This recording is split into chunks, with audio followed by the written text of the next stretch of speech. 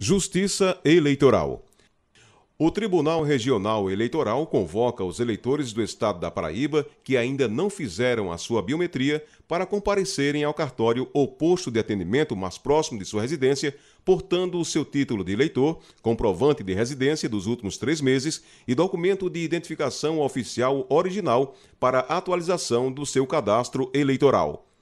O não comparecimento implicará o cancelamento do título eleitoral e penalidades previstas no artigo 7 do Código Eleitoral Brasileiro, entre as quais o bloqueio no recebimento de salário para servidor público, impossibilidade de matrícula em instituições públicas de ensino, obtenção de passaporte ou carteira de identidade, entre outras sanções. Consulte o endereço do posto de atendimento do seu município no site do TRE Paraíba www.tre-pb.com www.juiz.br. Evite as filas, não deixe para a última hora. A Justiça Eleitoral agradece.